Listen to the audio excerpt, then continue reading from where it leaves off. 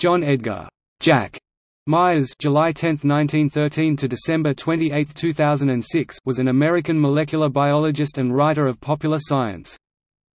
Born in Pennsylvania, Myers graduated from Juniata College in 1933, and gained a master's from Montana State University in 1935, and a Ph.D. from the University of Minnesota in 1939. Myers joined the University of Texas in 1941, teaching until 1980. He continued researching as an emeritus professor until 1999. His areas of expertise were photosynthesis, phototropism and algae. His work included research on growing algae in space.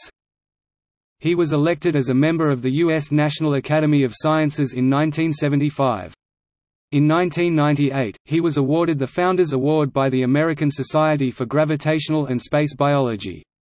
Other awards include the Darbaker Prize from the Botanical Society of America in 1959, he was the senior science editor of Highlights for Children from 1958 until his death in 2006, aged 93.